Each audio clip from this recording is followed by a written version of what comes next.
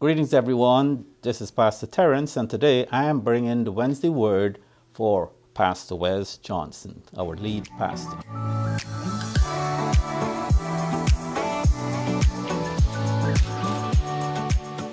Now, last week we touched on a topic of prayer, and we established that prayer is something that all Christians should be doing, or all people who are called on the name of the Lord should be doing.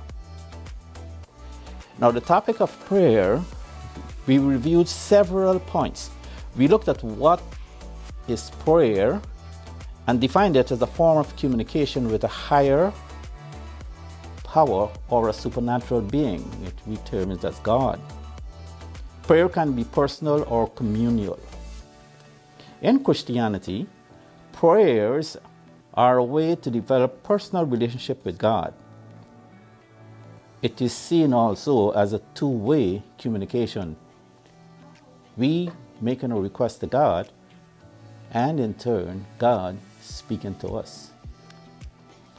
Now, God summons us to seek Him, to converse with Him, and in return, He intends for us to hear him.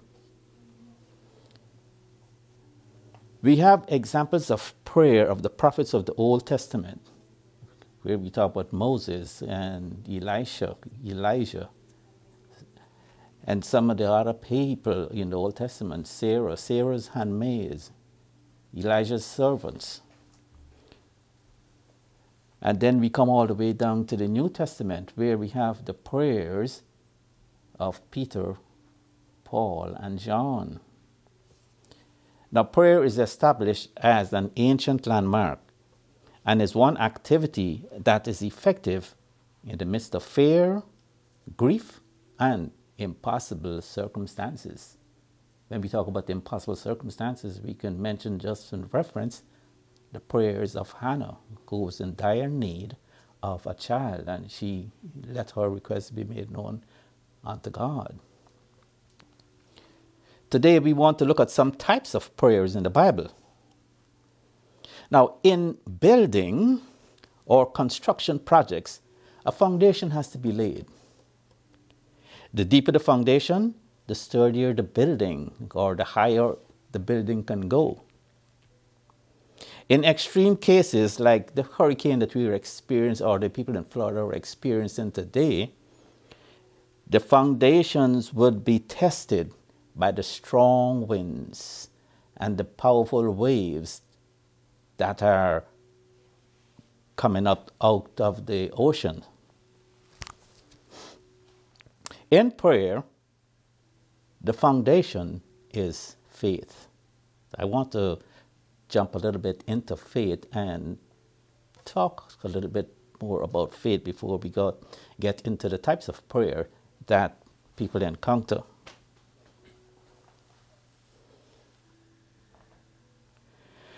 Now, in Hebrews 6, Hebrews 11, verse 6, it states, But without faith it is impossible to please him.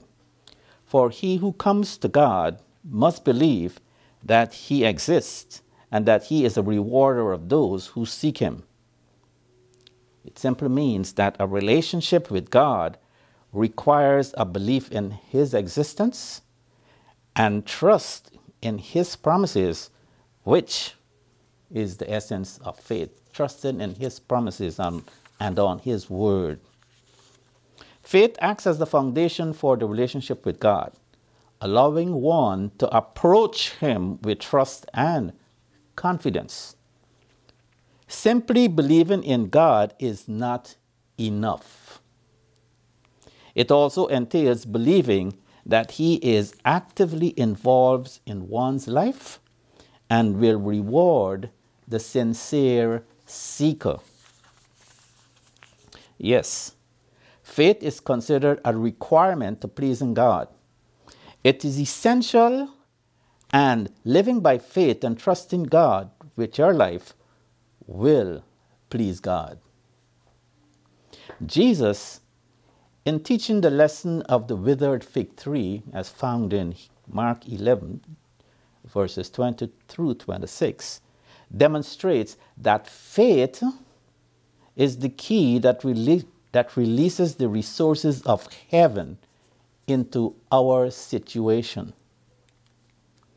He tells the astonished disciples, Have faith in God. Whenever things, whatever things you ask, when you pray, believe that you will receive them and you will have them. Now, faith could be defined as an extension of our conviction, our confidence, our trust, and our belief and reliance that God will supply the answer. You know, when we're going to visit a medical doctor and we share this information with our friends or someone close to us, they may ask, Well, what type of doctor are you visiting? You can go to the ear and nose doctor, you could go to the oncologist, you can go, people may be going to see a gynecologist. There are different types of doctors. They specialize in their field in a like manner. When we are going to God, the creator of everything, He wants us to be specific in the prayers, requests that we are making to Him. Now, He is the God and creator of all things who answers all our prayers, and He would like to know specifically what you are asking Him about. In praying, they have different types of prayers. There's the prayer of faith. There's the prayer, a corporate prayer. There's the prayer of agreement. The prayer of request and supplication. The prayer of thanksgiving and the prayer of worship, just to mention a few. In the prayer of faith, it's a prayer that expresses faith in God and may ask for guidance, strength, or healing. The list could be continuous. Psalms 25, David says, In you, Lord my God, I put my trust. I trust in you. Do not let me be put to shame, nor let my enemies triumph over me. A prayer of faith. No, I don't want my enemies triumphing over me, dear God. So I put my trust and confidence in you. James 5:15 states, "And the prayer of faith will save the one who is sick, and the Lord will raise him up." In this context, prayer is offered in faith for someone who is sick, asking God to heal. When we pray, we are to believe in the power and the goodness of God, that God answers. In Mark chapter 9, verses 21 through 25, it talks about faith as a prayer that reaches through, consciously touches God's throne and then rest unshakably in the assurance that the answer will come when? In God's time. Not when we want it, but at the time that God wants to answer it. We can also look at the psalmist David in Psalms 124, where he declares that faith is our weapon and God is our companion. Faith is our weapon, and God is our companion. David declares, If the Lord had not been on our side when men rose up against us, then they would have swallowed us up quick when their wrath was kindled against us. We can go back to the Old Testament times when the children of Israel were leaving Egypt, it says God was a cloud by day and a pillar of fire by night. He protected the Israelites as they leave Egypt. When they cross the river, he was the wall that held the waters back so that they can cross over. Hadn't it been for him, they would not have been able to cross. Faith. Look at the centurion, as recorded in Luke chapter 7, verses 1 through 10.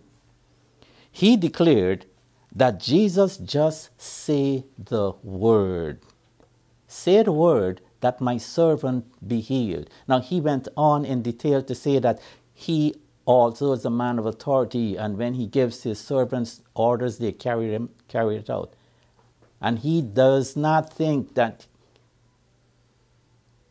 he is even worthy to be in the presence of Jesus, and Jesus was not even Jesus does not or could not, because he does not want Jesus, he, he thinks it's below Jesus to come into his home. But he asks Jesus just to say the word so that his servant can be healed.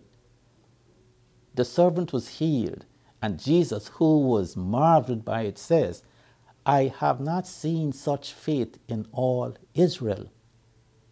Just imagine it. Faith, just say the word. You don't have to come, you just say the word and let my servant be healed. Now, as we delve into the types of prayer, we want to look at the prayer of agreement. And this is also known as the corporate prayer. So after Jesus' ascension, the disciples all joined together constantly in prayer in one accord, as recorded in Acts chapter 1 and verse 14. And later, after Pentecost, the early church devoted themselves to prayer. Now, their example encourages us to pray with others. We can have solo prayers where we pray by ourselves, or we can have prayers where we pray with others. We have the prayer of request or supplication. We are to take our request to God, as Philippians 4 6 teaches us.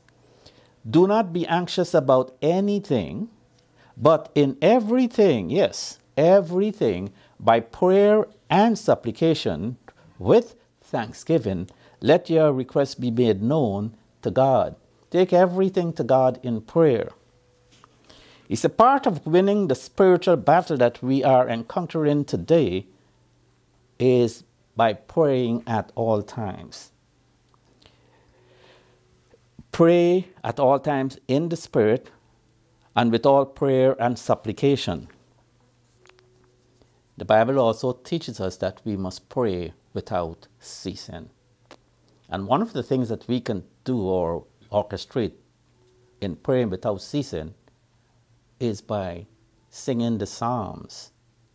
That's a form where we can be praying and talking to God. We do not always have to be asking, we can be worshiping and we can be glorifying Him. You may worship is a part of praying and glorifying God. We have the prayer of thanksgiving. Thanksgiving is coming up in the next couple of weeks. And this type of thanksgiving, we give thanks to God.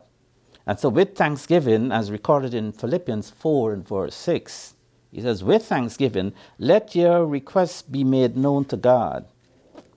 And there are many examples of thanksgiving prayer as we found in Psalms, just to mention a few Psalms 100, Psalms 103, verses 1 through 5, and Psalms 95. Now we have the prayer of worship. And the prayer of worship is similar to the prayer of thanksgiving. The difference is that worship focuses on who God is. Thanksgiving focuses on what God has done. Now, the church leaders in Antioch prayed in this manner with fasting as well. And while they were worshiping the Lord and fasting, the Holy Spirit said to them, Set apart for me Barnabas and Saul, for the work to which I have called them. Then, after fasting and praying, they laid their hands on them and sent them off. And that's where Paul and Barnabas went on different missionary journeys. In conclusion, prayer is the Christian way of communicating with God. We praise or we pray to praise God and thank Him to tell Him how much we love Him. We pray to enjoy His presence and tell Him what is going on in our lives. We pray to make requests and seek guidance and ask for wisdom. God loves this exchange with His children, just as we love the exchange we have with our children. Fellowship with God is the heart of prayer. Too often we lose sight of how simple prayer is, and it is supposed to be very simple.